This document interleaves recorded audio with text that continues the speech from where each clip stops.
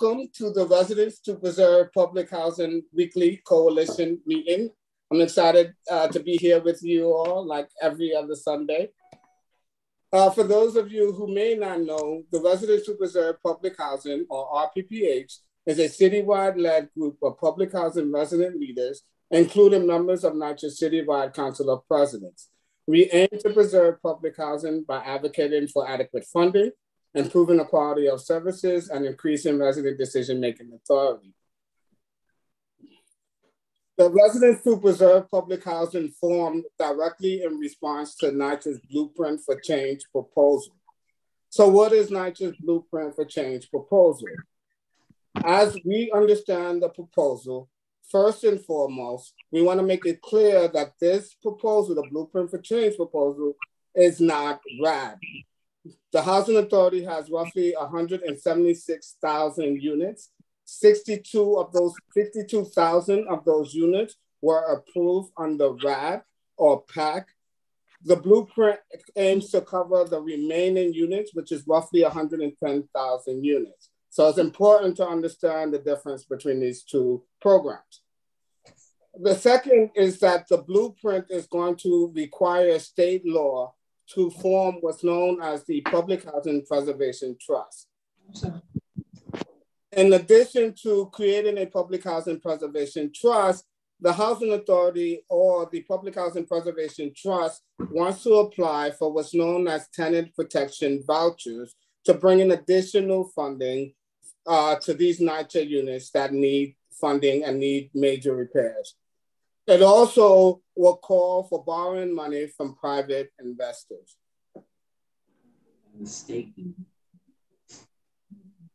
So, what will happen? Um, what we have learned in terms of how uh, the blueprint aims to generate additional funding is that the Housing Authority believes that they can bring in roughly about $6 from every dollar that they get from the tenant protection vouchers. However, it is still not clear and transparent exactly how much money the Housing Authority would be borrowing, when they're going to be borrowing this money, and of course, when they're going to pay this money back. And more importantly, it's not clear on what will happen if the Housing Authority or the Public Housing Preservation Trust is not able to pay back all of the monies that it borrowed. So to be clear, the blueprint is a proposal. And these are the steps that Gregory Russ must go through in order to implement the blueprint for change proposal. So first, they need to create law, state law to create the Public Housing Preservation Trust. As you know, the legislation was introduced twice, and we, along with many residents and organizations across the city, were able to get the legislation put on pause again. In addition to needing legislative action, it also needs approval from HUD. And so what that means is that in order for HUD to approve it, this plan must be a part of NYCHA's five-year annual plan. If it is not a part of this five-year annual plan, they must introduce it as a significant amendment. We know because we recently testified at NYCHA's annual hearing that it was part of their five year plan. We'll talk a little bit more about how that process was not um, accommodating, to say the least. This plan also requires HUD to provide the tenant protection vouchers. In order for HUD to give out these tenant protection vouchers, HUD must conduct um, an inspection to classify each unit as obsolete. In this proposal, the Housing Authority is asking HUD to waive the inspection process. Their argument is that it is already clear that these units meet the criteria under obsolete and, in, and qualify for these tenant protection vouchers. So again, they want to waive the inspection process. Finally, not finally, excuse me, in addition to HUD approval, it also needs congressional appropriations. What they are asking for is funding to cover 110,000 units. As it currently stands, that is not enough tenant protection vouchers uh, that would accommodate the Blueprint for Change plan. And so this plan calls on Congress to appropriate additional tenant protection vouchers. And then finally, baby. this plan, finally, this plan is going to uh, require uh, private investors. So the public housing public the public housing preservation trust will need to secure loans from private lenders. So let me be very clear. The residents to preserve public housing say no to NYCHA's Blueprint for Change proposal. We are against the Blueprint for Change proposal, one, because it was developed without the input and approval of current NYCHA residents as stipulated by HUD 964 regulations.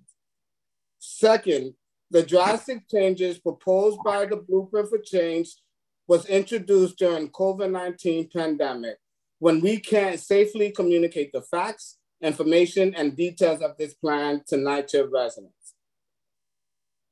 Third, this trust will generate private debt using our homes and tenant protection vouchers as collateral without any protection against foreclosure.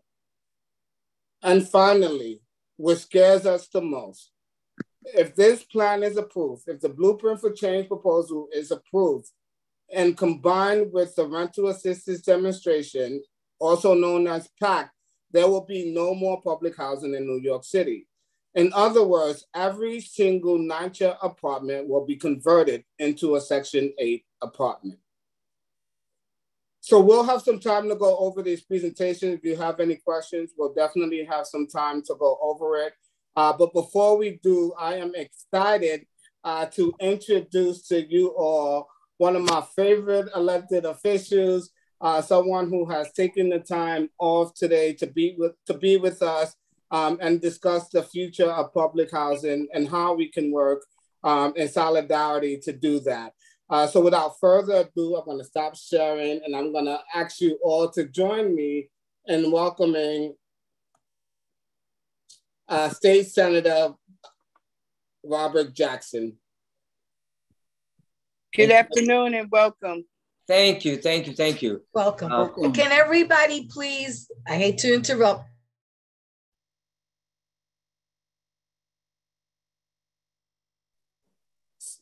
Sorry, Aisa. I, I, I did it though. I think I know you're just gonna ask everyone to mute.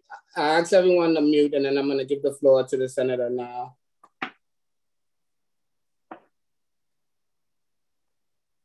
Well, first, let me thank you for inviting me to come in. Uh, this is an important meeting for me uh, in that I get to hear directly from all of you, residents and leaders uh, of NYCHA citywide, in order to try to determine the best course of action uh, in order to achieve the objectives uh, re regarding NYCHA, meaning maintaining and keeping clean and oper operating elevators and heating plants and rooftops and all of the things that anyone has to do when you own so many um, developments in the city of New York in order to keep it up to uh, operating standards of satisfaction uh, in regards to the law and the regulations and the satisfaction of the residents. And so, uh, not growing up in NYCHA, uh, I don't know uh, the experiences that you have uh, by living in NYCHA. But I do have experiences visiting friends and others and residents that I've represented not only in the state Senate, but many of you know that I was a member of the city council from 2002 to 2013, which was 12 years. Uh, and as someone that was born and raised in New York City, uh, it, it wasn't the first time for me to go into NYCHA development uh, only when I got into the city council. So, but I say to you, I don't know all of the issues and concerns like you do. And so this is an opportunity for me to join for the first time. You know, I think it's a biweekly meeting uh, in order to listen and to learn. Uh, I've read uh, some documents. So, for example, uh, Aaron Rose, who's on the Zoom with us. Uh, she is our policy director, and Matthew Levy is our legislative director. And they've given me a document that I read regarding the difference between Section 8 and Section 9 housing, uh, and the operating funds and the rental assistance, the RAD programs, and all the other things that my staff, uh, especially from a policy and legislative point of view, should know. Uh, also, Chris Nichols, uh, Chris is our deputy chief of staff. Uh, he was part of the group that on a continuous basis met regarding uh, the Chelsea Elliott houses because my district, if you don't know, goes from parts of Marble Hill, where Marble Hill Houses is located at, and not all of it, Marble Hill Houses, is represented by me. It's gerrymandered that way, so I have, I guess, a large part of it. And I go to Inwood, Washington Heights, West Harlem, Morningside Heights, Upper West Side, Midtown, and I go down to Chelsea, uh, where I am. Chelsea uh, Elliott Houses is in my district. I mean, a couple of buildings of it, not all of it. Uh, that's how they gerrymandered the 31st Senatorial District going back 10 years ago uh, when uh, uh, Elliott, Elliott, uh, not Eliot Spitzer, where the state representatives was uh, the person that was trying to raise money in order to switch the leadership of the Senate from de- Republican to Democrat, Eric Schneiderman. And so they gerrymandered the district in order to try to knock him out of the box. And that's from a political point of view. And hopefully, with the census now, uh, they can bring the districts back to a realistic approach as far as keeping it together. But so I wanted to come and listen. Obviously, I, I have some questions. Um, uh, I, I know that I would think I know what you want. Uh, you want to have a say. You want to be, be a part of the decision making process. Uh, but I, my concern is how long is it going to take to reach that end result in order so that things can be done to rehab, improve services, and to have it to where residents can be happy about the developments that they live in. I mean, obviously, no one wants it to take five years and 10 years or 15 years or 20 years. Uh, I'm reading the report uh, put out by CSS and, and others. Uh, so, but I'm here to listen most of the time. And I say to you that from a legislative point of view, I saw that uh, the legislation was put on hold. Uh, and I want to know uh, from you as residents, resident leaders, how long are we going to hold the legislation on hold? Um, until you know you're at the table uh, discussing all of the details, that's fine. But I, I just I need more information. I need to know know really what your position is, and I say your position, the citywide residents uh, to preserve public housing. Um, and then I want to make sure that the areas that I represent, that uh, my people are at the table also to discuss and consider their specific developments, even though uh, I know this is not about one specific development, it's about the entire system and the, the, uh, the concern about the fact that uh, public housing uh, will be shaped differently in the future uh, by Section 8 uh, versus Section 9. So that's my two cents. Um, I never said that I knew a lot. I'd leave the details of that to my staff to deal with. And then I asked a lot of questions and asked for uh, memos and read documents in order to uh, make my decision overall where I'm coming from. But what I said to you, Marquise, uh, when we were at uh, Dyckman houses, uh, which is maybe how many years, months ago, six months ago or something like that. Yeah, I give it to Five months ago, I said, I'm not going to do anything that uh, that the residents don't feel that they need. But and, and, just to be clear and, and, transparent with everyone, I outright asked uh, Senator Robert Jackson if he would uh, take his name off the Public Housing Preservation Trust legislation. Um, we we have discussed it. Uh, the residents to preserve public housing have been meeting for well over a year. Um, and, and again, right, this blueprint is not a viable option for us. One, um, because resident, residents weren't a part of it. It was created and then um, they try to get buy-in from residents. Um, two, it removes all of the federal protections or it forces us to renegotiate the federal protections that are already guaranteed to us under Section 9 and of course, uh, the legislation as it was currently written in its second iteration, there's no protection against foreclosure. So the Housing Authority recognizes that that is in fact a risk and there is little that they can do to address that risk. They have made it very clear with the legislation.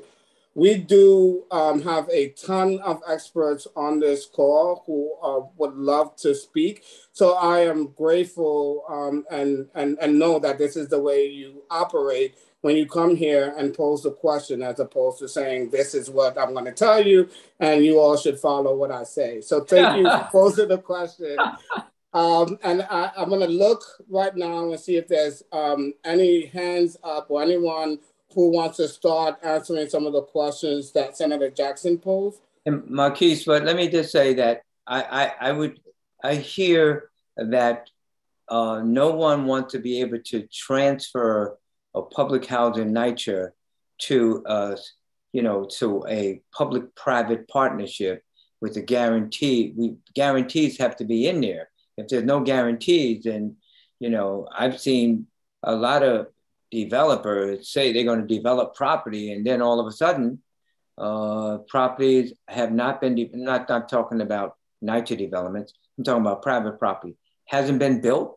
It's been vacant uh, for years, even though they started uh, the process to build, uh, you know, housing one block from my house, and in which a synagogue uh, building was part of it and they went bankrupt. They're in court and all kind of stuff. And it's been like that for years with boarded up and nothing has been done.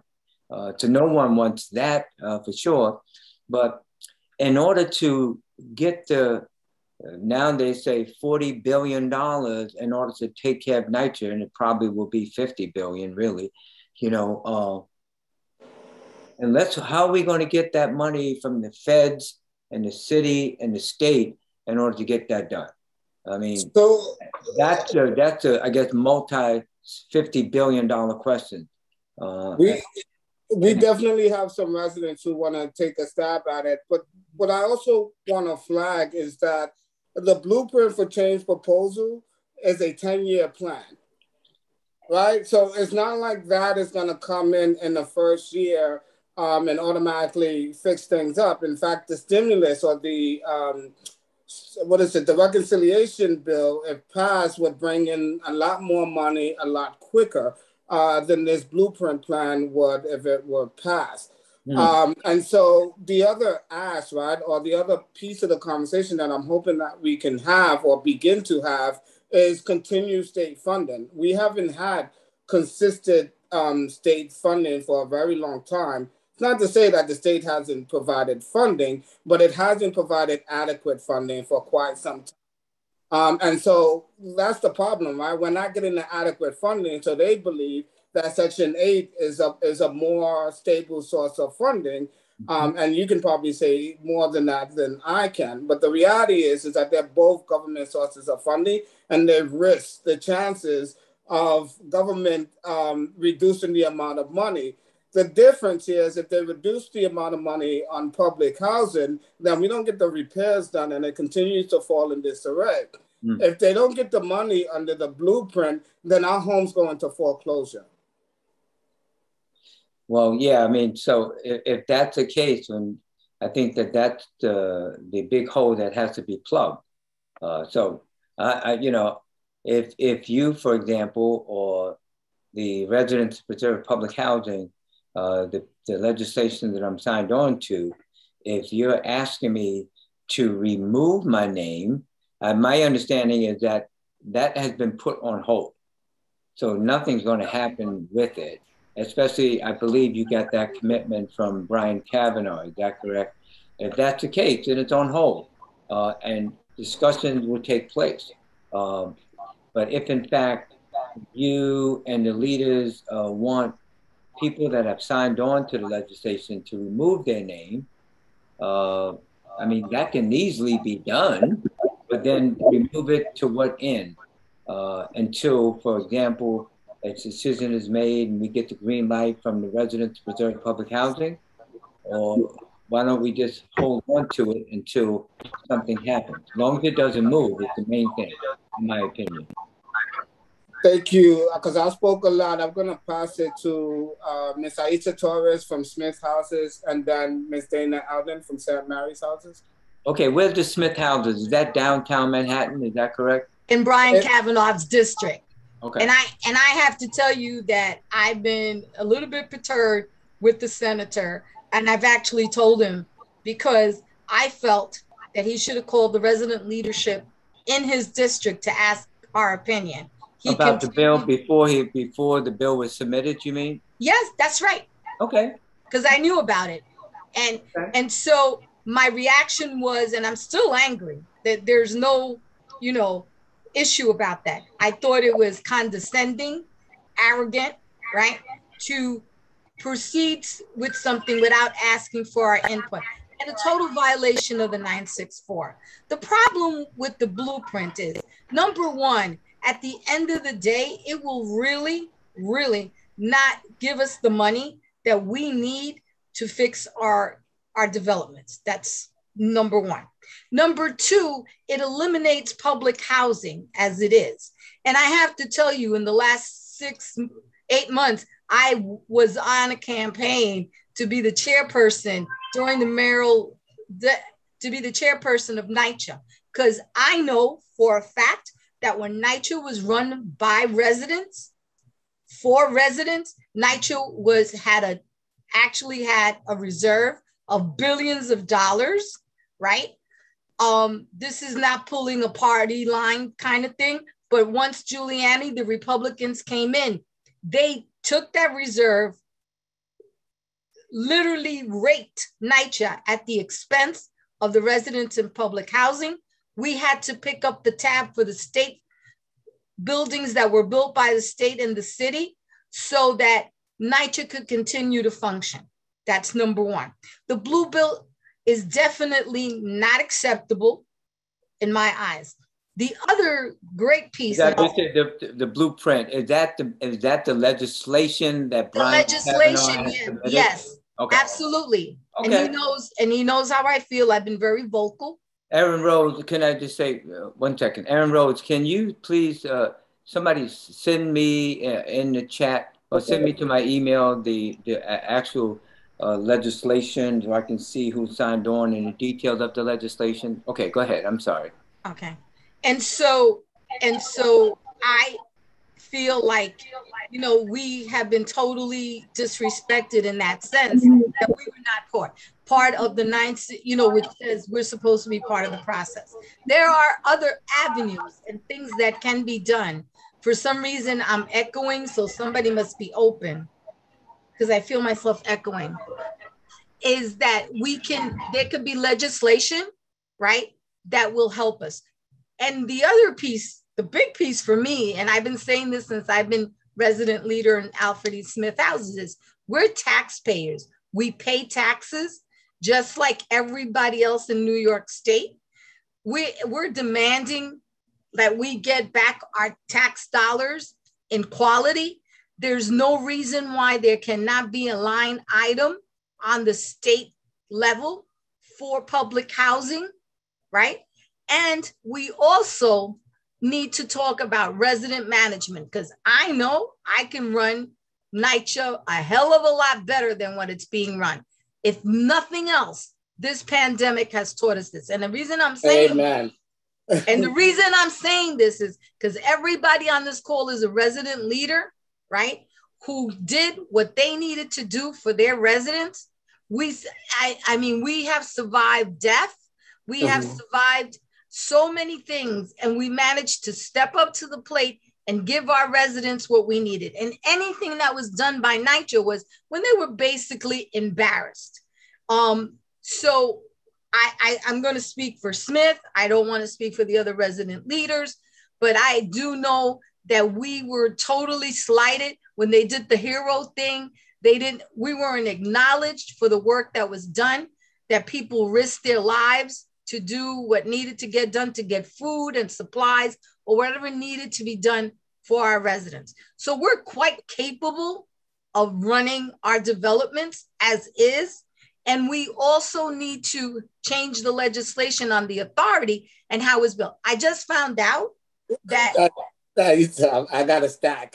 Okay, yeah, I know, but just give me one. I just want to finish this. I just found out that the legislation for the board of NYCHA, you a resident, a resident a resident of public housing cannot be the chairperson. Why? Why? We're educated and we know, and we sure as hell know a lot better what's going on in our developments than anybody else. So I thank you for respecting us for coming, you know, to listen to what we had to say. Senator, you're on mute.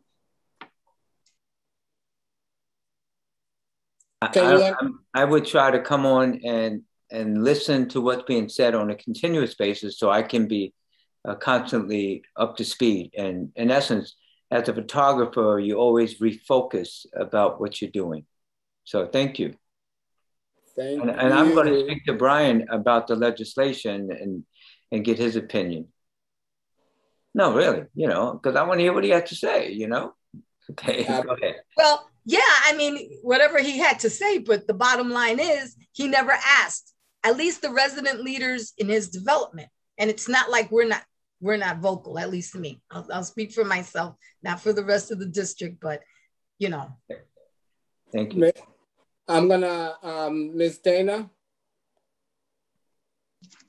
Yes, can you hear me? Yes. Can you hear me? Yes. Okay. Good afternoon and welcome, Senator Jackson. Uh, thank you so much for taking the time to come into our meeting today. Um, my name is Dana Eldon and I'm the president of St. Mary's Park Houses.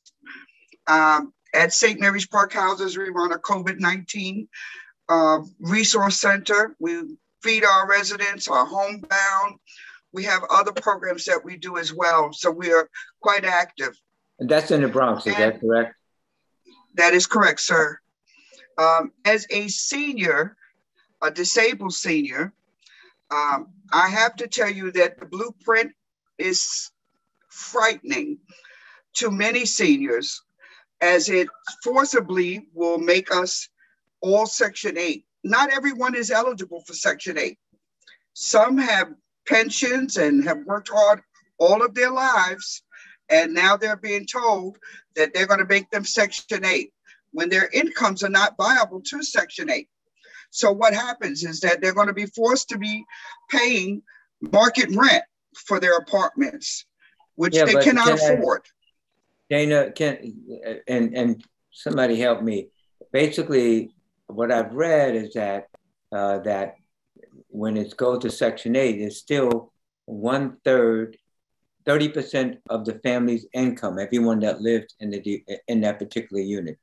So Section 8, Section Eight has an income uh, cap.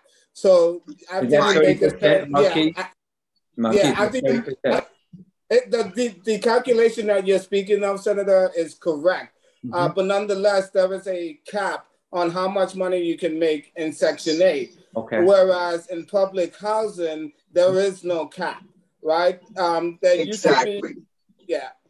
But, but, so, but and, and, and, and that is a problem, Senator, that many are above that limit. Right. Uh, and I would Section think, 8. I would think that in order for that to happen, if, if in fact NYCHA and those who have the authority want to be able to make sure that the money comes in to do the rehabs and what have you, so forth, then obviously, in my opinion, based on everyone that lives there, uh, it's still entitled to the 30% of the family's gross income uh, and, and not then now be uh, saying that because you know you have a pension, you have this, and now you're going to have to pay more than 30%. You may have to pay 50, 60% or market rate. No, that's not acceptable. I, I don't think that that's acceptable. No, no. So in public housing, let's say, for example, you make a hundred thousand dollars. Mm-hmm. In public housing, you are able to stay as your income grew to a hundred thousand dollars. Right. As a Section Eight, a Section as long as you pay thirty percent of your family income. Is that correct? That's right. Yeah. That's right. But a Section Eight. And, there, ahead, there, are many, there are many residents who are paying the cap. Right. The current cap. Mm-hmm. Um, and so with that conversion to Section 8, the mm. cap is well under what they may pay if they're not accepted as a Section 8 resident. Mm-hmm. Okay. So that, that is, is, a, big that's concern. a major concern. That's a major concern. Yes. Yes. Okay. That that's that's good to know. So for so for myself and the 34% of residents right. that live in St. Mary's who are seniors, 34%. we are well 34%. percent mm hmm And I'm quite sure, Senator, if you look at NYCHA's uh, numbers as far as the city is concerned, a high number of residents are seniors mm-hmm. throughout the city. Um, it is quite frightful for us knowing that we're not safe under Section 8. Okay. Um, so, and everyone is, it's not, Section 8 isn't for everyone. And some of us would like to remain Section 9. So this blueprint, which forcibly will make us Section 8, is is my in my my my voice, um, it's it's horrible. It's it's it's it's it's incredible that someone would would bully us into a situation. Not only do that, but they have people going around to apartments knocking on doors to seniors, no doubt, and says to, to the seniors, you have to sign the Section 8, which is it's, it's it should be illegal to do something like that. It's a scare tactic. Yeah, they don't. And, and no, the, no one should be forced into signing anything. No, but I, I, I, and, to, and, to, tell them and to tell them that they're going to get new this and that is it. I've, we've seen Rad, we've seen PACT, we've seen what what NYCHA has done. Um, they they they they put a bow, ribbon bow around things to make it look pretty. But in essence, they're not doing what they need to do for the infrastructure of our developments, and it has to stop. And okay. and the blueprint must be killed. So, thank you, so, sir. Uh, Dana. So what I what I heard loud and clear is that you know you and other residents that are above the current cap are afraid if that happens then their rent is going to be increased above the 30% or at market rate. Is that correct? Loud and clear. Either, way, either way, it's, it's a death sentence to many uh, because if that, you know, that was we dealt, live on fixed incomes. If that was dealt with, if that was dealt with, that would then, well, what would you say about it at that point in time? If that was dealt with and let well, away. I'm just asking. My position is I, I understand. Thank you for that question. But but my position is that I would like to remain Section 9. There are also other issues with Section 8 that don't give us a voice that we need to have to represent our residents. Then if, then if that's the, if you're saying, I, you know, um, you know, many people don't like change. And so if in fact if, if in fact we, meaning when I say we, NYCHA is going to change from Section 9 to Section 8, uh, and that one issue you talked about is a very legitimate issue uh, as far as the cap uh, now and no cap in Section 8. But then you said there's other issues of Section 8. And I would hope that Marquise, uh, that the Residents Preserves Public Housing, your work group here, the leadership, uh, make have a list of those things other than what was Dana mentioned uh, as far as issues and concerns with Section 8. Yes, you'll hear. Me, I, I do want to see, I want to see all of the elevators are working, the roofs are not uh, not leaking, and all of the mold and all of the things that everybody else wants. You know what I mean? Uh, so that's just, you know, that's what I'm I'm looking at, and I'm listening to exactly what you're saying, uh, Dana, And then that's why I said if there's a list, Marquise, of other issues of concerns with Section 8, so I can see this entire list. And so, uh, absolutely. The we, discussions, we and discussions and negotiations at every level, especially the federal level, may be necessary. Absolutely, Senator. We have letters that we have shared with our elected officials that mm-hmm. go through that list. Yeah. Um, but also, as we go through the stack, you'll hear more um, about the different concerns that we have with the blueprint and, and why we say no to the okay. blueprint. Um, I have Mr. Robert Hall, Beverly following uh, Beverly McFarland, and then Mr. Reginald Bowman. Uh, Mr. Hall, I'm giving you the floor. Uh, Senator Jackson, uh, I'm Robert Hall. I'm from Gun Hill Houses. This is me right here. I met you, yeah, I met you at Marble Hill, okay, as we waited for Mr. Edwards to arrive, okay? Um, first of all, I want to thank you for being candid and being open about your position as it lends itself to this entire situation, all right? Uh, you're very open and you want to listen and you want to learn. And that's a good thing. And I sincerely hope that all of the remaining senators feel the same way that you do with an open mind. All right. Now, Ms. Elder brought out a very good point with regards to uh, Section 8 versus Section 9. And one of the other entities that I want to bring into play is the fact that we need to be heard. You will not be heard once you gather yourselves with Section 8. When you get with another non for profit, that non for profit has their own board of directors, they have their own progressive uh, goals, and they move forward at their own rate. Yet and still, residents in public housing, when I say public housing, I'm talking about low income housing, low and very low income housing they know very little about those types of procedures that go on from a Section 8 standpoint of view. All right. NYCHA was very, very crafty in doing this during the pandemic. All right. During this pandemic, most of the presidents spent a lot of time trying to make sure that the residents got what they needed just to survive. We were not on the front lines to fight this battle. However, I just received word about a week ago that our highest representation, which is the Citywide Council of Presidents, the CCOP chair had to sign a notice so that everyone will now understand that everything that goes on on a level with NYCHA and the residents, there needs to be transparency. I thought it was embarrassing that a notice of transparency even has to come up at this point. But that's how crafty NYCHA has been. That's how disillusioned they have been over a long period of time because what they've done is kept the presidents busy, at odds, and trying to maintain their mere survival during this pandemic while they marched on to try to privatize the developments. It was very crafty on their part. And now that things have somewhat simmered to a certain degree, we have to come up with uh, transparency documentations in order to be heard. All right. And this is from a capital project standpoint of view. All right. That had to happen from our citywide chair.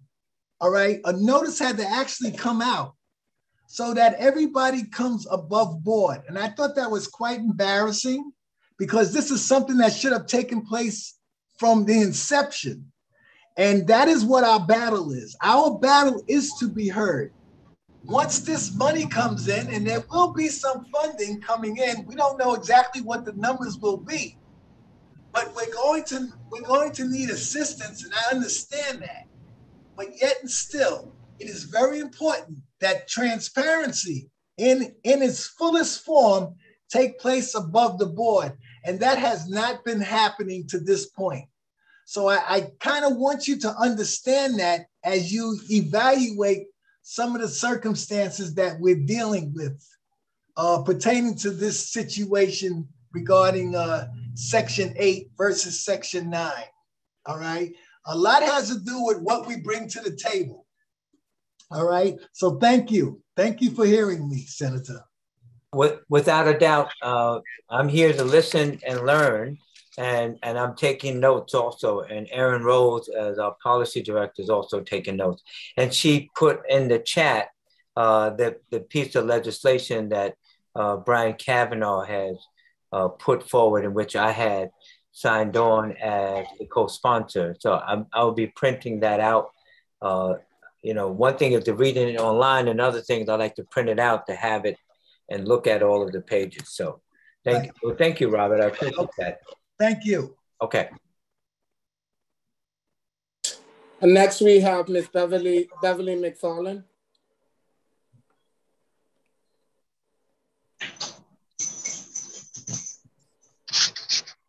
Good, uh, good afternoon, Senator Jackson. Hi, Beverly. How are you? I'm fine. Um, my issue with the where's your residence the, located at? Oh, I am the resident council president for um, Taft Senator Robert A. Taft houses in East Harlem. How are you? Yeah, okay. Okay. Um, section eight, section nine, we are governed. We are already governed federal mandated. We have federal um, protection underneath the 964 regs. And at the point, at, I believe it's the CRF 100.25, it states that at the point of conception, we were supposed to be sitting at the table. So NYCHA is in full violation of the, we um, wasn't even at the table with the blueprint for change. Number, number two is the Blueprint for Change have a uh, uh, trust. At, on the board of trust is four, um, is nine, is a nine pe- persons trust, where is four people on this trust is, is residents, um, NYCHA residents, and the five is other elective and uh, a chair, the chair. My problem is that sounds like a conflict of interest because why would the chair of NYCHA that's going to be, um, it will be on this trust, and why is it only four residents?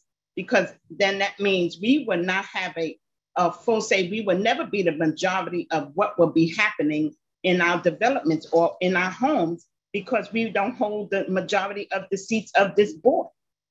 Second, secondly, just like um, uh, the, the young lady was saying, in terms of Section 8. Section 8, we have to um, have a certain qu- uh, income criteria. And if we do not fall in that income criteria, then what happens is that it goes based on the AMI of that area. So our rent will be an, an um, increased based on the AMI of the area that you live in. Well, so AM the AMI, as you know, for New, it's, it's an AMI for New York City, uh, Correct. And, and so it's not like you know there's one an AMI for the Bronx and one for Brooklyn, one for Queens. The AMI yeah, is every everywhere. In the AMI, yeah, you will our rent will be increased up to thirty percent of the income. But if if if that whole issue, especially for rehabbing 110 units uh, out of the 170 something, I mean that that's something that needs to be dealt with at the table, if if at all that can be dealt with as far as the income gap. You know what I mean? That was discussed earlier with Dana, you know? Yeah, but you heard- also, but what you have to understand is NYCHA have removed one third of their housing stock already from uh, through PACT and RAD. And if, if we are given the $40 billion that is um, that um, uh, Chuck Schumer is trying to fight for, why then why would we have to go from section 8 to section 9 anyway? Why wouldn't they just preserve public housing they, this had been preventive maintenance um, the lack of preventive maintenance of NYCHA for all these years um, and where is the money? We first of all we really need a forensic audit of where the money is going to period.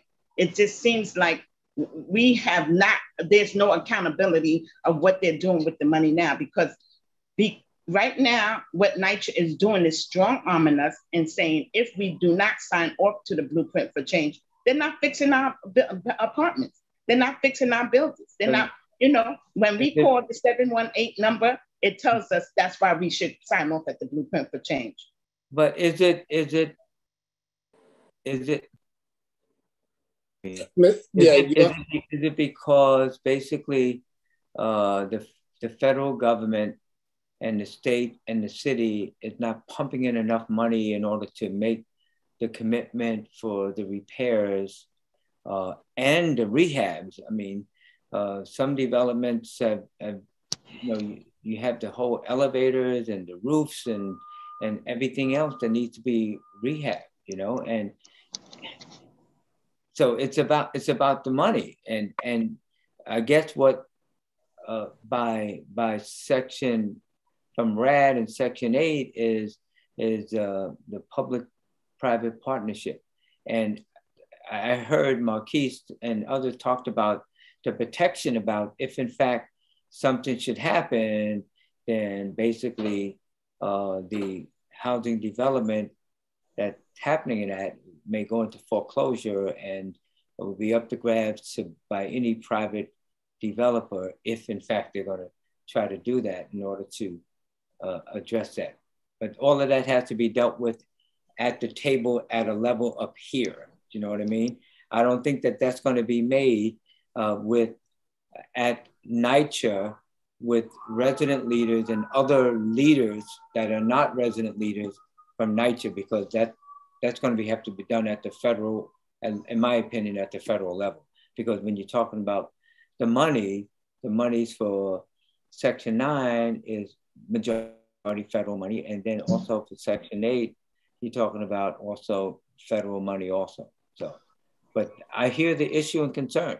Uh, and I think that those have to be addressed once they're on the table uh, at every level.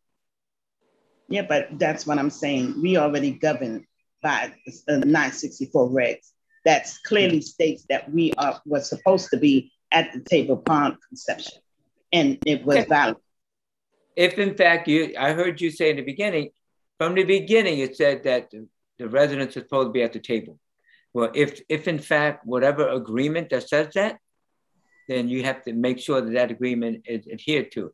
Or if it's not an agreement, if it's a is if it's part of the requirements of of, of section nine or how NYCHA, whatever, then you, you need to be at the table from the beginning. There's, right. there's no ifs or buts. And, and, we, and that's my point. We were never at the table. And, and you know what? You know what I say. Uh, I'm from Missouri. Show me. It's a show me state. So show me the regulations where you say you need to be at the table from the beginning, and then. And I just said it's 964 CRF, but I believe it's 100.25 or 110. But I will give Marquise that information because I have it on my phone. That okay. is it. And I, I'm, I'm going to ask Aaron Rose to make a note of that because obviously if, if as you cite if that's what it is that's what it is and that's what we need to make sure. And i'd say this to you uh, beverly and everybody else listen i've been involved in litigation uh, from the campaign for fiscal equity as the lead plaintiff in a lawsuit that sued the state of new york. They were not providing enough funds for our children to get a sound basic education. Uh, it took 13 years of litigation uh, but we won uh, and the end result was billions of dollars more from a capital point of view, with that Pataki signed at a warehouse in Brooklyn that now sits Sunset Park High School, $11.2 billion. And then Eliot Spitzer, as the governor, agreed uh, uh, to $5.5 billion for New York City education. And just recently, in this legislative session that, that ended uh, in uh, April, uh, it was they, they made whole on what we were entitled to, which is $4.2 billion, 1.4 billion over the next three years. So believe me, I know uh, the legal processes, and that's why I said I'm from Missouri. You got to show me. And so Aaron Rose, Aaron Rose, make a note of that so we can see what Beverly is making reference to. Okay. And, and, one, and one more thing I could say, and I'll be done. Um, okay. He, um, Gregory Russ have went to five different states and abolish public housing. So this is his, uh, he is the hitman for NYCHA. Okay. Okay, that's it. Thank you. If in fact that's his, his MO at five different states, we know that's his MO. We have to make sure that doesn't happen. And that's his MO. So you can look that up. That's Google him. Google him. And not only that, he's also his uh, his father-in-law is a developer of all some of these projects that he is um uh taking over. So we'll, I'll, I'll, put together I'll put together a packet to send that include all of those stories, especially our friends from Minneapolis, uh, his hometown, who are still battling with some of the things that he made. Uh, keeping us moving with Stack. Uh, the last thing I'll say about the, the rights and the regulations, it's one thing to have those rules and regulations. It's another to protect them, right? We have struggled with protecting those rules and regulations we have caught NYCHA numerous times. In fact, we've lost count of how many times NYCHA had violated our rights um, and protections, and it's most and, and they're able to do it because of our lack of ability um, to have legal representation, right? That goes all the way in making sure that those federal protections are adhered to. So that's also part of the ask, right? How can we strengthen residents' um, ability to hold the housing authority accountable and mm-hmm. maybe that could look like a pot of money that goes to the CCOP or other residents where they're able to retain a lawyer. Um, but that- also, Marquisa would also make sure that the elected public officials that represent uh, the development and uh, on the housing committee and the city council uh, and housing committee and state legislature, then we would then uh, step up and communicate and hold them accountable. That's right. So I'm going to give you Mr. Reginald Bowman, former CCOP chair. Okay. I remember Reginald going back. Good afternoon. How are you? What's up, brother? How you doing? Good. Um, it's good to talk to uh, Upward Bound alumni. and uh, we go back to when you were the school board president prior to the campaign for fiscal equity and as you know, you and I have been in contact over the years on several different issues. Um, first of all, um, I want to commend um, Marquise and the, the, the group for continuing their efforts to focus the residents of public housing and putting together what I would like to call the campaign for fiscal equity for public housing. um, without a doubt, um, we need to get focused, like, and learn from. Um, they say if you don't learn from the past, you're destined to repeat it. That's true. Uh, we need to focus this campaign uh, so that we can be laser focused and then um, organized enough to make sure that going forward we can get some of the things that we want. Mm-hmm. Um, I just, you know, v- very briefly, I'm going to take three minutes at most, Marquise. Um, yes, we are in a dire straits here because the public housing stock of the city of New York needs to be modernized, um, repaired, um, upgraded, and brought into the 21st century. We are in the year 2021. We are two decades and a year into the 21st century, or let's just say a quarter of the way through and we're still talking about the same things and not getting too much done. Um, I would like to propose, as we're on this conversation, that going forward, um, since the legislation has been paused, that we need to bring NYCHA, the legislators, and everybody to the table and pause this entire blueprint slash pact plan and um, reorganize our efforts towards uh, what we want to see happen with our homes from 2022 forward. Um, in my opinion, um, that would be something that would refocus what we need to do and it would um, generate the type of, of, of energy that we need to energy and strategic planning that we need to make sure that we get the resources, the funding, and the actual plans that we do need to face the critical issues in our developments at this time. Uh, the final thing I'd like to say is that um, quite a few years ago in 2012, um, we put together uh, something called the, the strategic plan uh, or setting the agenda for public housing going ahead. And part of that was uh, finding a way to um, make sure that we get the consistent funding that we need. And as we are now in the last quarter of the legislative year of, of, of the state and the federal government, um, we as residents have to be clear as to what it is that we actually want to be in this legislation and to be in the um, the capital plans for NYCHA uh, and the, the infrastructure and NYCHA plans going forward. So I said all that to say this. I, I think that, you know, we are we are making progress as a group as of residents and finding our way to the table. But we need to make sure that we really focus our efforts in a real campaign for the uh, infrastructure modernization, capital, and management of the New York City Housing Authority going forward. I think that focusing our efforts on those things uh, collectively and putting together a real campaign that's going to um, raise our voices and put pressure on the state and the federal government to get the funds that we need to deal with the current capital, and then also um, finish dealing with the status we're at with the monitoring agreement and all the rest of the issues. I think we need to make sure that we pull all of those things together to make those things happen. Uh, the final thing I'm going to say is, you know, there's a lot of blame to go around about what's wrong and who did what.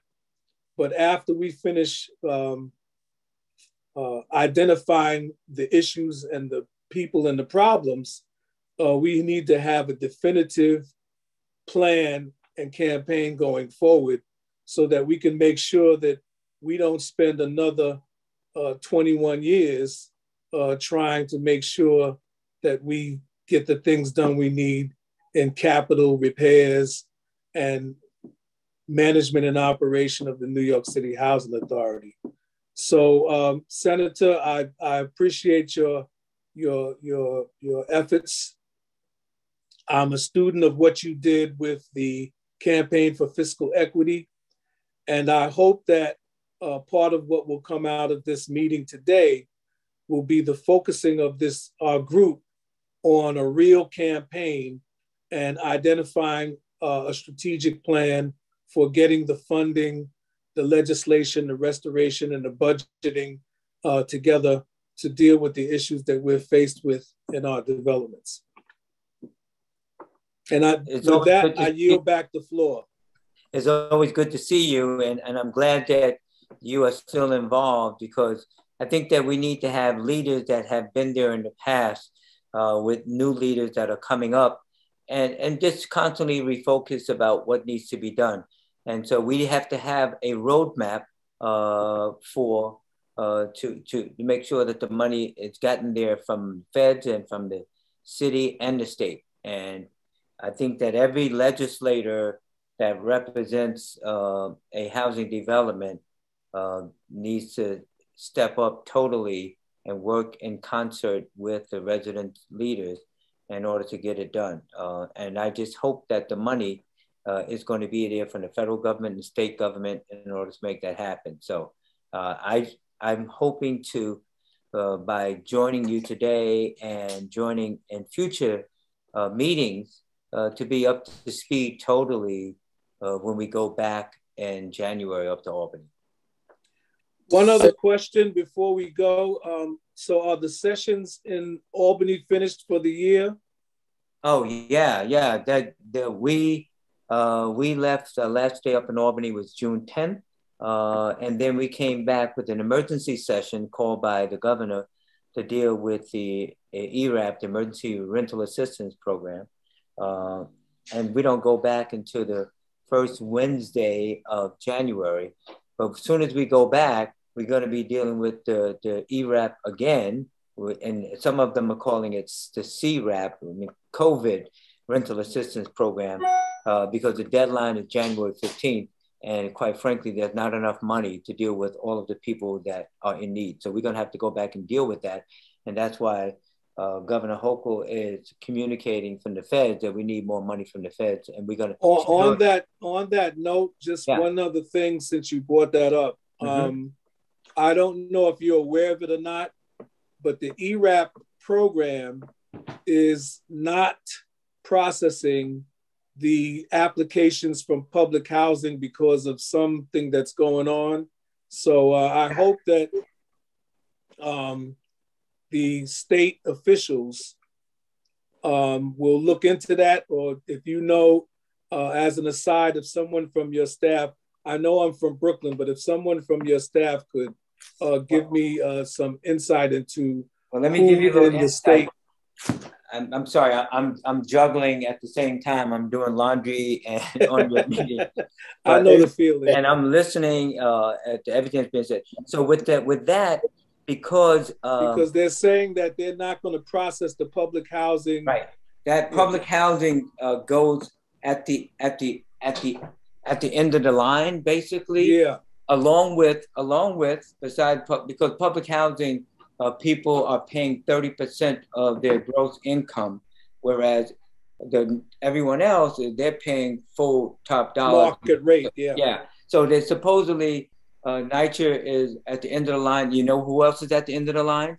Uh, those municipalities like Rochester, like Yonkers, and I forgot uh, maybe Syracuse that opted out of the state ERAP program and they yeah. developed with the funds that they have their mm-hmm. own quote unquote ERAP program. Mm-hmm. So they've run out of money. And so they go at the end of the line uh, because, you know, obviously there's individuals that uh, don't have subsidized rent or that are, you know, that were not part of the ERAP program that opted out. Those are the ones that are dealing with first. So thank you. And I, as I said, uh, everyone knows that what we have is not enough money to take care of everyone. So that's what we're going to have to go back Thank to. you, Senator. I yield the floor, Mr. Marquise. Thank you. And in case you know, um, Mr. Bowman still sits uh, proudly and boldly on the C Cup, and he is their legislative director. So he provides a lot of direction to us, and we're extremely appreciative of having him with us and standing side by side with us and giving us direction. Um, there were two things that were mentioned that I just want to um, sort of break up so that folks are all on the same level. Uh, you heard the term AMI. AMI stands for Area Median Income. It is the calculation that is used uh, to um, to calculate how much someone should be paying in rent. In other words, it totals up all the income in New York City and then determines uh, where people sit um, in terms of um, the level of income they generate. So if you're in the 30 AMI um, or the 30% area median income, you might be making somewhere between 70 and $80,000, 70 and $80,000 a year. Uh, the other thing is the ERAP. The ERAP, if you're not familiar, is the Emergency Rental Assistance uh, program, and that is helping folks who uh, suffered hardship uh, and struggling with paying their rent due to COVID 19 um, and other uh, related issues. Um, we still have a stack. The next person we have on stack, uh, please introduce uh, who you are and title, Mr. Joel Kufferman.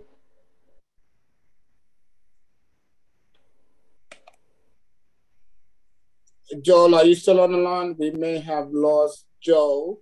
We may have lost Joe, but we do have Aisa. I'm not sure if you have your hand up or not. Um, do, we, but Joe. Marquise, I'm trying to get in. Who's that? Is that uh, Ronald? Yes, it yes it is. So okay, I already hear, spoke. So Ronald, Ronald wanted to speak.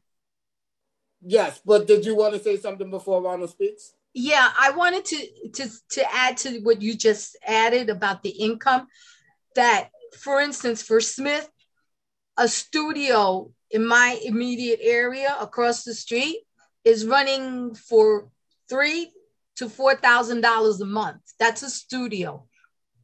So if we had to pay rent based on you know the going market rate, we could not afford it, especially for the seniors. Right now, Alfred E. Smith is like we have like 75% of the residents are seniors, right? Most of them have a pension and social security. We probably wouldn't qualify, but we also could not afford to pay the going rate.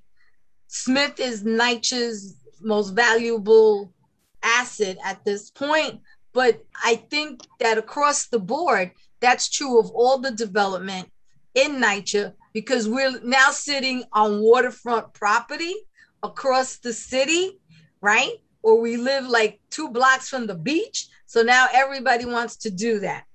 Um, and so we would literally, under the Section 8, be um, incomed out of our homes because because we go into Section 8 you know? So i just wanted to add to that that the value when you talk about the value and the city value and stuff it's outrageous literally outrageous what would happen. I just very short i wrote a grant. I was told to write this grant. When i put in my zip code i got kicked out because of my zip code. Mm. okay? Thank, thank you ronald ronald i'm going to give you the floor now Okay, thank thank you so much, um, Senator Robert Jackson. It's a pleasure to have you come on. My name is Ronald Topping. I'm from the Adam Houses um, in the South Bronx. Um, okay.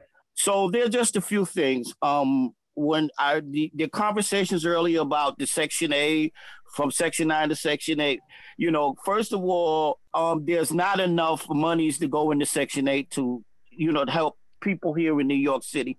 Congress has not funded HUD in such a long time that we are under the belt. So that's what the first problem is. Then they decided to bring in a, a CEO after Shola Olatoye was dismantled and removed.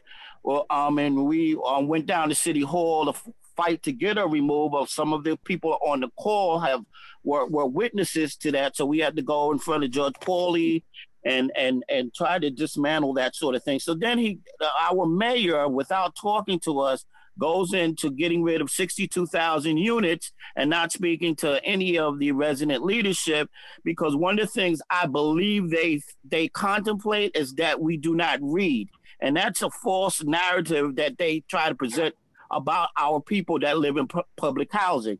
So then Greg Russ comes into the city and he wants to intentionally confuse us with this transformation plan, and all that does is is part. It's part of the blueprint. It's it's basically there to restructure us um, according to the federal monitors agreement, which we had fought to get a federal monitor here. Then it goes to the stabilization plan that he wants to do. And this is uh, something that was created by new state agencies about the Preservation Trust and it's only to help line the pockets of realtor investors of wealthy people that's already wealthy. So when you have this man coming here to help dismantle public housing, it basically he's been to four other cities uh, and probably a lot more than that that's already displaced a lot of Samoan people. Okay, in Minneapolis, his own his own state. Then he then he goes to Philadelphia and his behind gets sued okay, because they don't want to do the earned income credit for people who have finally get a job and then they want to go up and start raising their rent. So that's another issue. So his butt got sued there. Then he takes his butt over to Boston. He displaced people. Then he wants to come He went to Chicago. They got rid of Cabrini Green, which we know has a large historical history of public housing residents. And what they don't fail, they fail to realize is that public housing residents are some of the finest people you're going to find here in the world, as well along with New York City. You have some of the most brilliant and talented people who live in public housing. The playing field was never equal. So this is where we resided. They wanted us to move on because it wasn't created for us. But now they see that, we're here and now they just want to throw us out and just as like a wet food stamp. That's not going to happen because we're not going to move. We're going to stand in this fight and we're going to try to get answers. We need people like yourselves to start to one another, collaborating cohesively, coherently, mm-hmm. and working together to try to save New York City. But this is his baby, what he wants to try to dismantle. And these people on this core and all our residents are going to stand up and fight against it. Amen to that. The answer. Thank you.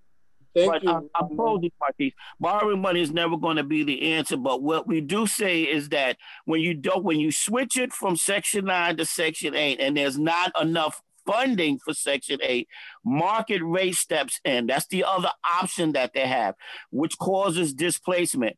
As Dana told you earlier, we have a large population of seniors. We are there, and a lot of disabled people. They are not going to be able to match those real um, um, um, rental rental um, status of monies. We're not going to be able to do this. So I just wanted to share just a little bit of information. You could do your homework on Mr. Russ and what have you, because we already did. Um, Teals and Tally is one of the managing companies that he gains the profit if they came to New York. They'll get office downtown and they'll become more richer, and while we become homeless. So this is the, the, the thing is with, with Mr. Russ. So Marquis, I, even though Marquis. I came out attacking him, um, and so forth, I just needed you yeah. to know what's been happening across okay. the state. Marquis, who's talking right now? Sorry, this is Ronald. Can you? This is that's Ronald Toppings. Yes, Ronald okay. Toppings. Ronald, Ron, Ronald, what what development are you from? Ronald. I'm in Adam Houses in the South Bronx. Okay. Okay, so I, I would encourage you to do some homework on what Mr. Russ has already done so that you can weigh his out because he's he's he does nothing but hand in a uh, template he doesn't change much of his views. Most people would be wise enough to change some of their movements. Yeah, have, you, yeah, I know. have you talked to Eric Adams, the incoming uh, uh, mayor? Have you met with him? We we have spoken with. But he does um, not have a clear plan on basically how he's going to help us get money. The main key is we got to get money. Right. Let me um let me say because um, I'm going to continue on with Stack, but we spoke to uh candidate um Eric Adams when we did our mayoral forum. I forget what month we did it, but he did come to speak with us and talk about public housing. Um, so we're hoping to schedule a follow up meeting with him uh, before he is officially, or if he's um, before the official election takes place um, in November. But yes, we are trying. We're, we're going after everyone we can get. We can get a meeting with. Um, so again, thank you so much for coming. Keep me. Um, let me know what your timing is. I just want to make sure I leave a little bit of time for you to do some closing statements. No, I'm I'm I'm listening to every what what everyone is saying, and so I, I if you if your next meeting is two weeks from now, I may be out of the country, but if I'm in the country, uh, I will be at the next meeting. Uh, I, if I can zoom in uh, from Tanzania, East Africa, then I'll zoom in if I can. Or you can just bring us all with you and we can just all have uh, but let me go to Mr. Joe. Joe, can you introduce yourself, please? Uh, you say Joel? Yes. Yeah. Robert Jackson, I think you remember me for a long time. I'm one of your constituents. I'm yeah. counsel to Smith Houses and St. Nick. And it's just a few things. They cited the law. My predecessor speakers, I think, know the law better than, than, than the lawyers, you know, in this case. And I think it's really important that you really withdraw the legislation that's going. You mean withdraw yeah. my name? You pointed out it? that you how long you were involved in litigation. Yes, Joe, because you also mentioned litigation. I'm sorry. Hello. Oh, you said to withdraw your name from from. from it, it's from very choppy. Uh, I'll, I'll take a look at that uh, and discuss that with Aaron Rose, and and I will consider that, Joe. Okay, but also I want to say that it's accountability. By putting this into a trust, you're removing one step more of the accountability. The, part of the problem that of all my experience with NYCHA and spending is this the privatization of the work, the design work, the planning, and the contractors are getting plenty of millions of dollars and not coming through. And NYCHA's failed to do that. And New York State has received, they signed off on, on almost a billion dollars from FEMA money, signing off saying that they have to meet federal laws. The money went to, to, to NYCHA. The state can play a much bigger role in controlling the waste that's going on. We also try to bring NYCHA to bring speak to the state agencies, including DEC, including um, the health department, and they refuse to. So we could show you ways that this could really help New York State. A lot of money is being spent on flood mitigation. It's going to areas outside of NYCHA territories. So there's no reason why a lot of the budget problems could be solved by just focusing that NYCHA developments are entitled to. Thank you, Joe. Comment on Cynthia. Cynthia, you put in the chat, where has it been established that Eric Adams is the new mayor when the official election has not taken place? And I hate to be so bold, but this is only thing that politicians listen to. No, uh, uh, Cynthia, I mean, uh, uh, with Cynthia, if, if you look at, there are four, five, four, five Democrats to every Republican. And if you think that uh, Curtis Sliwa will be elected the mayor, I, I, I want to know what you're drinking. I'll drink. I'll drink some of that. But no, I, am just saying, real. Let me just finish, please. I'd if, be more than happy to respond to that. Okay, just let me finish, and, and I'll and I'll be glad to listen to your response, because from a realistic analysis point of view, uh, Eric Adams will be the next mayor. And if in fact NYCHA, this uh, Residents to Preserve Public Housing, should meet with uh, Eric and also meet with Curtis, they meet with both of them. But in, in my opinion, uh, it's it's a, it's a given that uh, that Eric Adams will be the next mayor. So okay, now and I'll listen to you, please. Go before ahead. you before you say something, uh, that's a plug. Uh, Curtis will be with us next Sunday. So oh, good. That's good. All right. Go, go ahead. So no offense, no. I'm only drinking water. Okay, so I, I, I, don't feel that that was very I'm, nice of you to say. I'm sorry. Okay, I, I was just making water. a point well, yeah. I was just making a point that the elections yeah. have not happened yet. I actually sit on Manhattan Democrats. I am a county committee member. Okay. okay. I did sit on one of the forums that, eh, and I was in the debate with Eric Adams okay. when he was first running. Okay. But he would not. And we had a whole thing with NYCHA presidents, mm-hmm. and he dismissed us. Mm. That's what I'm drinking. When okay. I sit there and I talk to you and I tell you that this is what Gregory Russ is doing to us, mm-hmm. that this is how PACT and RAD is not working in New York City, and you dismiss me, then I am going to question it. I'm not going for Curtis, mm-hmm. even though he's going to be on, but the elections are not until November. So, no offense, but as a senator, everyone's entitled to their day of voting, everyone's entitled to their opinion. And right. I take offense at what you said about me. Okay. So, that's what I'm drinking. Okay, Cynthia, I apologize. I mean, I'm, I'm drinking water and coffee myself, um, but uh, okay, uh, we will wait to see what happens in November. But I do think that the the uh, resident to preserve public housing should meet with uh, both of them. and should meet with Jumaane Williams, who's a public advocate. He's uh, not our public advocate. He spends more time upstate than he does in the city.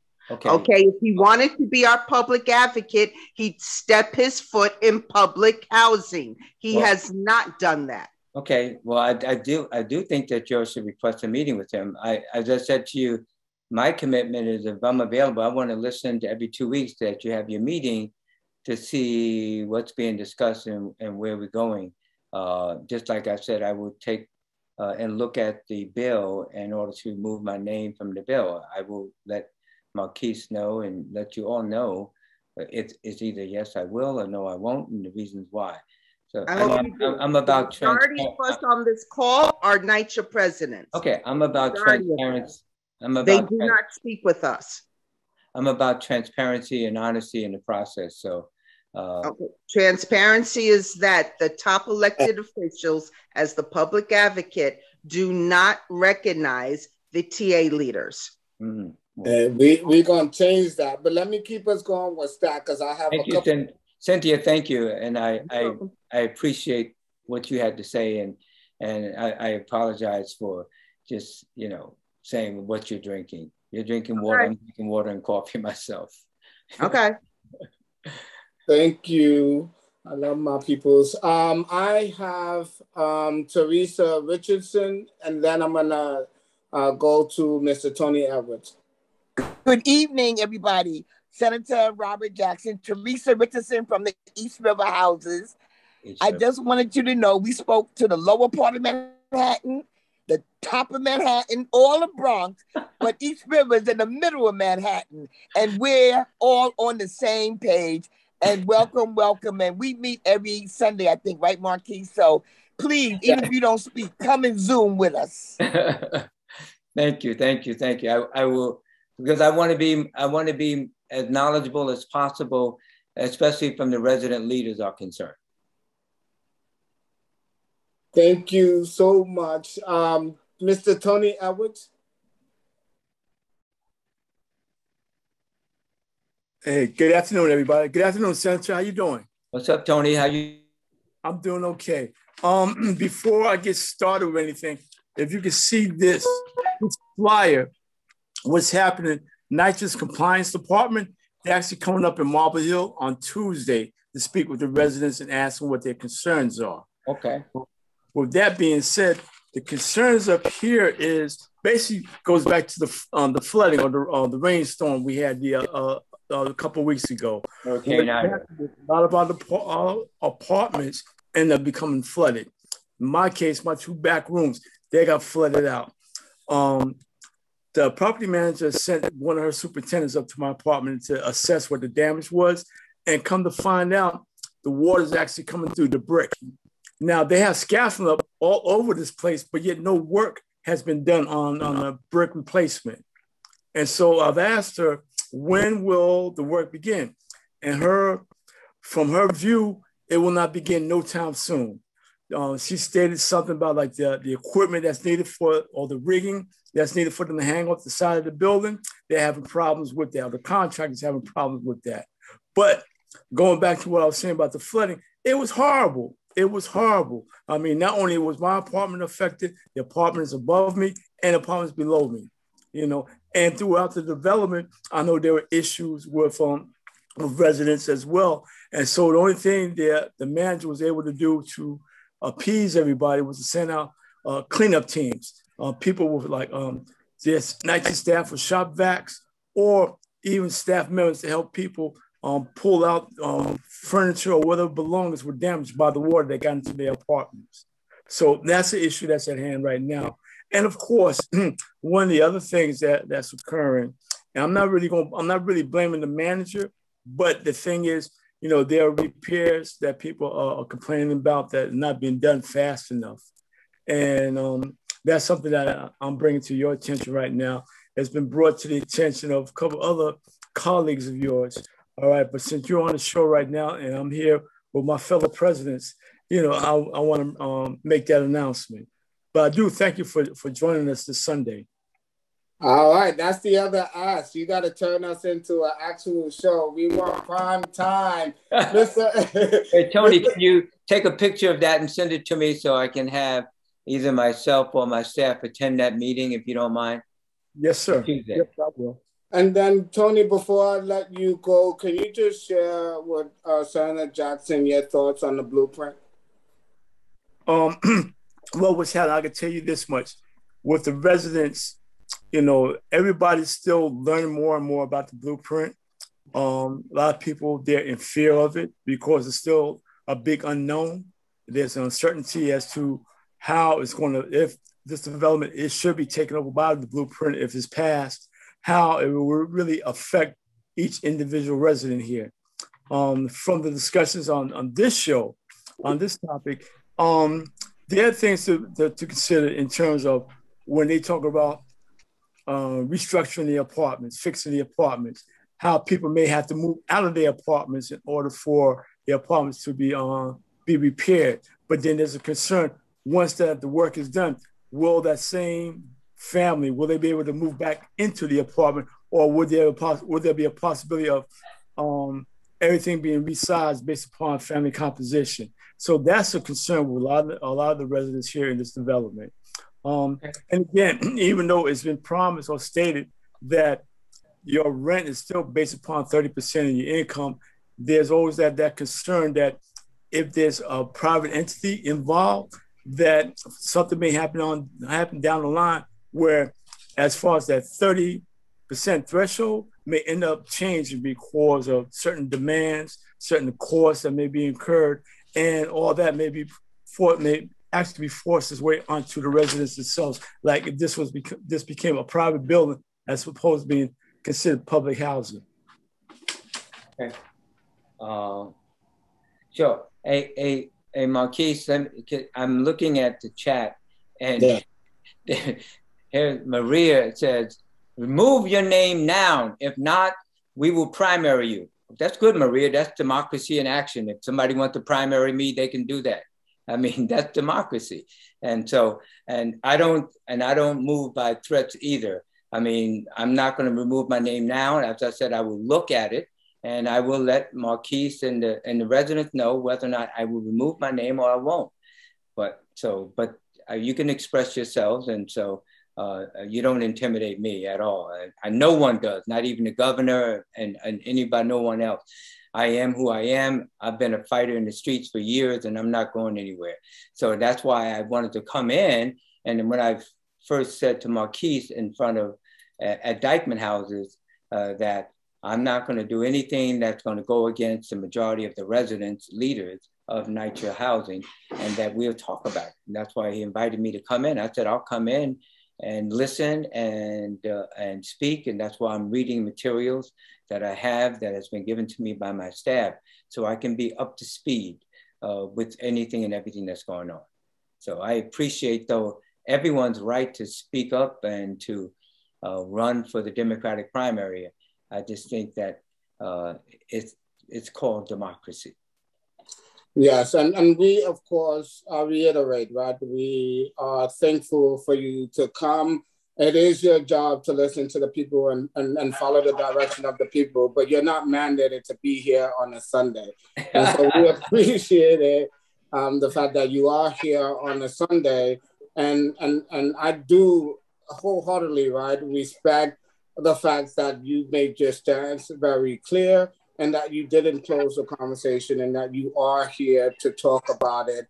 Um, and at the very least, that's what we expect from our elected officials to be able to have conversations mm-hmm. and, and find middle ground where we all can agree. I have two more. Um, if you are trying to get on stack, uh, we'll find a, find a way to let me know. I'm going to ask people to go off mute in a second uh, once we get to the last two folks um, on the stack. But I have Miss Dana followed by Miss Beverly. Okay.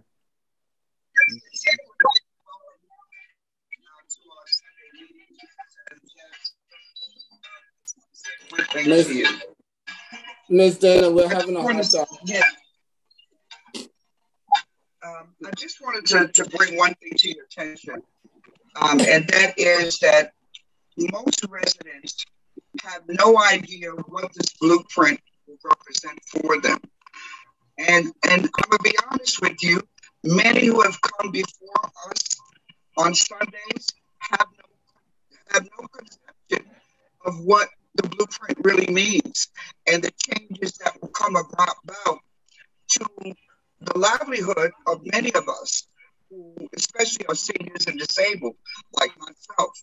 Um, and NYCHA has stepped away from its responsibilities all along. Um, in my development from March 17, 2020, we have been running a COVID 19 program here to supplement what is needed for our community. Um, we supply PPEs, we supply food, uh, we do many things. But I also wanted to say to you that at the end of the day, I don't believe that most people understand the psychological badgering that is taking place to the residents of NYCHA with this blueprint. I don't believe that most understand cataclysmic changes that could happen to many residents who live under Section 9 now, but will be forced to be Section 8. And I, I just think that that if anything, uh, to understand this bill, you have to hear the people as well. So when people are, let's say, a bit forceful or sound a bit threatening, it's a psychological thing that we're all going through.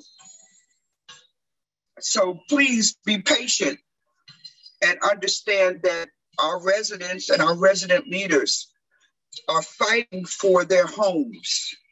This is our sanctuary. And some of us, like myself, I'm in a wheelchair and I'm also a cancer patient. And I run my St. Mary's resident council like a chief every day. And I fight for it every day. So understand that, you know, we're not threatening you by no means, but we are asking you to look at our position and understand that we are in a, a place of uncertainty.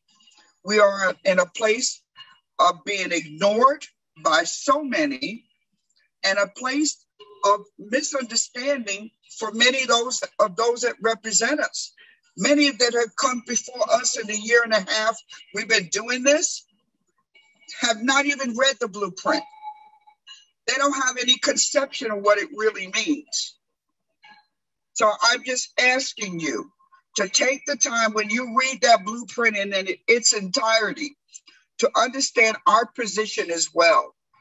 And, and, and of course, like Ms. McFarland said, we weren't even invited to the table at its conception, which is a violation of 964 HUD regulations. So we, we do this for a reason. And the reason is our homes, our sanctity, our safety, our psychological welfare as well, and spiritual as, as well. So please have an open mind that this is not a badgering of sense of sorts. I'm not worried. Again, out here, I, I do have an open mind, and listen, I, I, this is this is leaders that have been dealing with this for years, and and and they're tired of saying uh, hearing yes, yes, yes, and, and not getting anything done from elected public officials or what people call politicians. I don't consider myself as a politician. I tell people right away, say, you're a politician. I say, oh, no, I'm not politician. I'm an elected public official. And so that's who I am. Uh, I know who I am and I know what I'm about and I know the type of work that I do on behalf of the people that I represent. So, and I hear you loud and clear and and I can I can respect all of you. And, and Beverly, I, I apologize for saying what are you drinking? You know, uh, that that was just a figure figure of speech, and I I apologize for that. But it's all good, and I'm going to be coming in in future meetings to I want to hear. Is this just a gripe session, or we're focusing on what the game plan is? Because I want I need to know what the game plan is uh, as far as the details of it to try to help move in that direction from and educating my colleagues. I agree. Especially when we're at the table uh, discussing it as members of the housing. I'm on, a, I'm on a housing committee uh, at, in the state senate, and I made a list also of, I want to know who is the current chair of the city council housing committee and its members in both the assembly and the senate and the city of New York. And in the state senate, I chair the city's committee uh, that deals with New York City issues. And obviously, NYCHA is a big issue of New York City. We want to be, uh, Mr. Bowman is echoing everything you're saying. Um, but in addition, I know that you have a strong um, and diligent staff, but we also want to be your support and we want to be a resource to you. It's, it's within um, our interest that you are able to come to us and learn about what's going on, hear about the residents' experience, and of course, uh, hear and push what it is that the residents want um, as solutions. Um, uh, first and foremost, we definitely want some consistent and adequate state funding. We do want to preserve all of those rights and protections that come under Section 9. We don't want to put our homes in further risk of foreclosure. And more importantly, um, we want to make sure that residents have a full say, whether that means a vote, whether that means going through the uh, tenant association presidents there must be a real concerted effort, effort not to simply engage residents, but to make sure that residents are part of the decision making process. Ms. Beverly? Yes. Um, my last say, oh, oh, it wasn't me, um, Senator Jackson, that you were speaking to in reference to drinking. Oh. it wasn't me. I don't, I don't know who it was, but okay. um, I want you to, while you're reading um, information, um, it's very important to read tenant protection vouchers. Mm-hmm. Tenant protection vouchers is only supposed to be issued to resident um, um, people who's losing their homes and for a demolishment and transformation. So these tenant protection vouchers are it um, Gregory Russ are asking um, it in you know that for uh, for these tenant protection vouchers I think is like he's telling the federal government that we need these tenant protection vouchers. And what is his reasoning for asking for tenant protection vouchers when if he's not going to demolish our property or he's not going to transformation in terms of transferring of some of us residents from our homes. So why is it you being used and in this in this in this kind of um you know platform? They're not supposed to be used unless it's for demolishment. These are res- these are people. Um, tenant protection vouchers is only issued if you are your property is being demolished. Okay. I'm going. Uh, so you I'm, can read up on the tenant protection voucher and see why is uh, he asking for tenant protection vouchers. So Erin Rose, I'm going to have a stack of reading material while I'm on a plane traveling to Tanzania in, a, in about a week. But I, I'm I will read that, Beverly. Uh, uh, and so, Erin Rose, let's look up the, the tenant protection vouchers. What is the vouchers for and for whom? You know, as far as is it for people that are on the verge of being evicted or whatever? I'll, I'll read it. Thank you. Yes, and also I did put in the chat the 964, I believe it's 135, that it says that um, tenant leaders should be um, a part of the um, upon conception you know, of all facets. Okay, got it. Thank you. Thank you. All right, doing a time check here.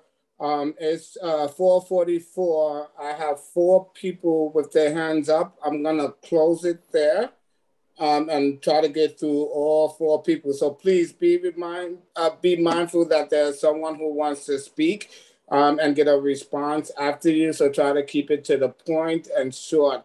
Uh, so with that, I'm now passing it to Mr. Joshua Burnett. Please say who you are, full title.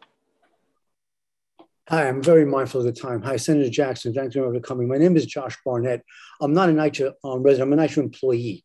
Um, I've been at NYCHA since 1999. Um, and like the residents here, maybe for slightly different reasons, I'm also terrified of RAD and the blueprint because they do represent the privatization of public housing. And they also have a strong union busting component to these things. I mean, since I've been in NYCHA, we've lost 25% of the staff, especially the maintenance staff. And that's had a tremendous impact on the deterioration of the buildings. I mean, that's basically what happened to public housing in Chicago. They just let it deteriorate to the point where people couldn't live there, you know. And so without the people to maintain it, including resident hiring, you know, it's really only going to get worse. Um, and there's a huge amount of outsourcing and privatization, like Joel was saying at NYCHA, that, you know, nobody's, I don't, they keep like two sets of books. You know, no one's really minding the store. And even though it's more expensive, they spend that kind of money. And the funding is the main problem.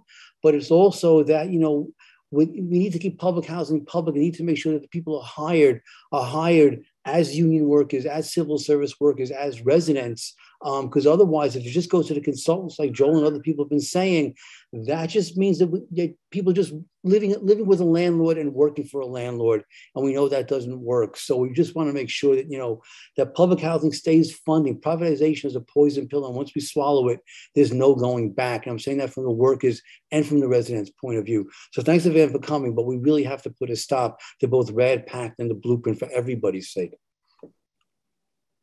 Thank you.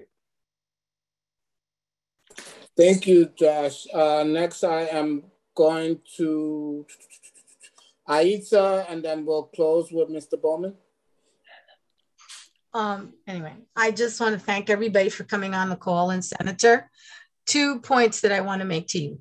The original 62 that were done under the voucher system was Shola's um, idea to save because the, the apartments or the homes that these people residents were living in were unbearable and she found the money to rehab their apartments so beverly you're absolutely correct Who and it was again? Who is she? Our former chair before this chair that we had. So, uh, Shola. Shola. Shola. Yeah. Yeah. Okay. She okay. knew exact and and and I can talk about this because she and I had a long conversation about it. So that's why she only asked for 62,000 because those were the ones that needed to be fixed and the private sector dumped it on NYCHA. And so that was her way of correcting the error. The other point I just want to tell you is for everybody on this call, we need not to sleep on and take for granted that the Democratic candidate's going to win because that's what happened with Trump and I can't take another four years of another Trumpy. Okay. No, I'm serious. And I think we need to take seriously, um, you know, making sure that our residents go out to vote in November and not take anything for granted. I'm not willing to take anything for granted. We need to maintain our, our, our majority in, in the House and in the Senate. Mm. And I and I think you you know and so it's not and i and anyway i, I don't care because i can't drink. I'm allergic to alcohol but i just wanted to thank you for showing us respect and at least listening to us which is something that has not really been done. And so i thank you for that. Oh you're welcome. I mean i mean i i, I just said i'm i'm in it for the long haul as far as uh, so when i'm uh, in hearings on housing or, or if there's a hearings in, in New York City, besides you as uh, a NYCHA leader is going to give testimony at the hearings, uh, I, I would go also myself. Because that's what it's about. It's about representation. Thank you. And forgive me if I didn't get to you. If you want to speak, if you are really burning and I miss you, I think we can make time for you. Uh, otherwise, the last speaker is Mr. Reginald Bowman. Uh, thank you, Marquise. Again, I think it's very important, and I put it in the chat, that we need to make sure that we have a campaign and a strategic plan to put together our positions and our plan of action as resident leaders going forward. Without having a specific, detailed, strategic, prepared plan of action, um, to parrot what my colleague Senator Jackson said, it'll be, we'll just be complaining, but not setting a road or a direction for policymakers and people to take.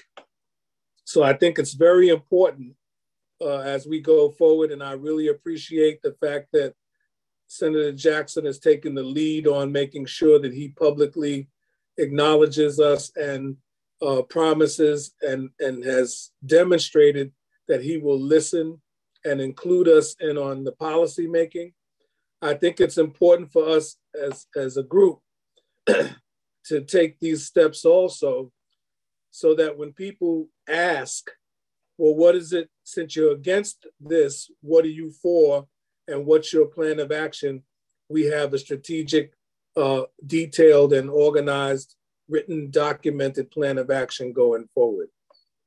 The final thing, um, I want to make an announcement uh, to some folk. Uh, as the senior member of the Citywide Council of Presidents and the person that they recently appointed to be responsible for government and um, public engagement, um, we, we sent out an email over the weekend. Hold on, there's some noise in the background.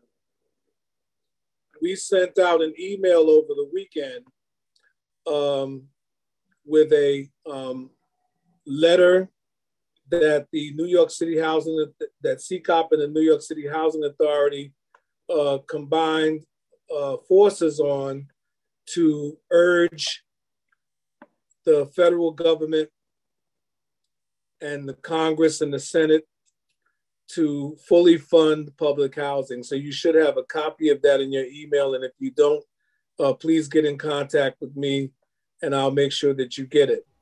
Um, also, during the week, this week coming up, there will be a citywide meeting of um, CCOP, NYCHA, and the resident leadership. Um, please look for that Zoom or um, uh, Teams notice in your email uh, because uh, one of the things that's important as we go forward um, as a group in residents and, and residents to preserve and all of us around the city is we won't get anything done unless we raise our voices the way we used to raise our voices years ago. Some of you on the call remember that when we used to raise our voices and go to Washington, we always got what we wanted.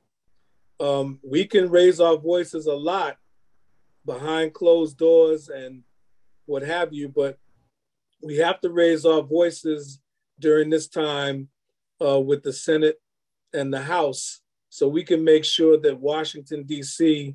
Um, listens to what we need in terms of public housing funding and, and management and capital and infrastructure going forward. So look for the emails from uh, the Citywide Council of Presidents regarding uh, the demand for Washington and for the meeting that we're going to have during the week. And hopefully we'll be able to continue to work with uh, people like Senator Jackson and others who are going to be our allies and partners going forward to get our homes fully funded and fully protected. Hey, that, I yield the floor. Can you send uh, Erin Rose, who my policy director, who put her email and phone number in the chat? Can can you send her that letter that uh, that you said you're sent to Washington? Is that okay? Okay. All right, thank you. In fact, in fact, most of most of the presidents who are on this call should already have it. Um, um, let me look in the chat right now because um, I'm making sure that I. Okay, did did she put her information in the chat? She did. Yes, she did. Uh, it's uh, it's in the chat. I think it's. Well, I'm going to put my email in the chat. Erin Rose. And she can she she can get to me, and I'll make sure she gets the documentation. Yeah, I think she just put it in again uh, right oh, there. Oh, I see it. Erin Rose. I, okay, I see it. Thank you. Yeah, anyone, please feel free to say that again. Email us if you have materials that you want us to review. I beg you, I love to read it. I love to share it with the senator as well. So if you have anything, don't be a stranger. Okay. Senator Jackson, thank you so much uh, for joining us today. Um, you see the group of people uh, who give me my marching orders. These are my bosses. And so I say that because they are going to tell me to keep pushing, to keep pushing until we get your name off of this legislation. Okay. But in all seriousness, in all seriousness, I, I really do it. And I think you've heard from all of the folks on this call that we really do respect the fact that you took the time on a Sunday to come and talk about this really important issue. Um, and that there are, we have to put together um, a full comprehensive plan. And, and believe you me, I'll be sending you um, lots of information as we want to continue to be a resource. And of course, um, this is home. So anytime you have a, a, couple of hours on Sunday from three to five, jump on. It's always the same Zoom. You might get tickled by what Mr. Curtis has to say next week. So feel free to join. um, and, and, and closing, we have, we, in a nutshell, what we want is we want to preserve the 964 rules and regulations that govern public housing under Section 9 of the Housing Act of 1937. No other resident in the city has that type of protection and that type of level of making sure that residents have the ability to be fully engaged. We want to make sure that our homes don't fall prey to the private market and allowing the housing authority or allowing the public housing preservation trust to borrow without protections against foreclosure is just simply irresponsible. And, and we have to make sure that that doesn't happen under our watch. We also have to make sure um, that there is continued funding.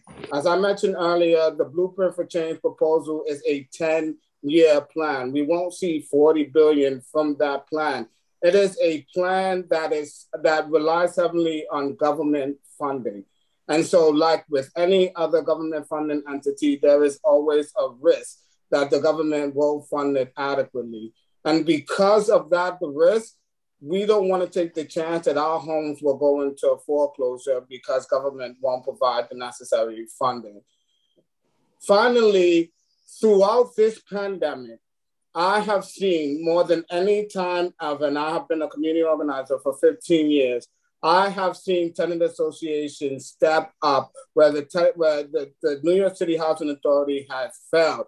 Residents have made sure that whatever resident leaders have made sure that whatever the resident needs, whether with food, PPE equipment, uh, making sure that they were able to get tested, making sure that they were able to get vaccinated, it was the resident leaders that stood up and led all of these efforts. As Ms. Aisha said in the beginning, residents have the full capabilities, and as you witnessed on this call, to manage their own developments. The next time we have a conversation, I'd love to jump into Resident Management Corporation, right? Resident Management Corporation, in a nutshell, is about residents being able to fully take over their development but it also means that they can do it incrementally, right? Maybe they start off with just doing maintenance, or maybe they start off with doing pest control. They can take on different aspects of NYCHA's operation until they're fully able to take on full management of their NYCHA development. They simply need more funding and resources and support to make that happen. They certainly have the drive, the will to do it, and it's within their interest to make sure that we preserve public housing. So with that, I want to give you the floor to say your final thoughts before we close out. Okay, well, first, I thank you for allowing me to come in and uh, and to listen to what everyone had to say, and uh, and it's helping me to focus on uh. Um, uh, Tony Edwards is uh, the the president of Marble Hill Houses, and that's in in my district. I don't haven't any anyone else that came in. I don't recognize anything. So uh, I, I do know that uh, Andrea Stewart Cousins, who's the majority leader of the state senate, uh, I'm told that she grew up in NYCHA development, and I heard from the city council member Helen Helen Rosenthal that she grew up in Amsterdam houses. Uh, so uh, I'm going to be talking to her about uh, the leadership team here uh, and sharing anything that you want me to try to share with her uh, to do that. And as I said, I will be reading up, uh, asking a lot of questions, and coming.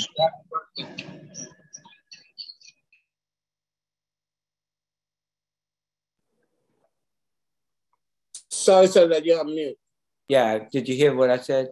As far as I will be coming back uh, and trying to listen and to do what I can to be helpful in moving the agenda along.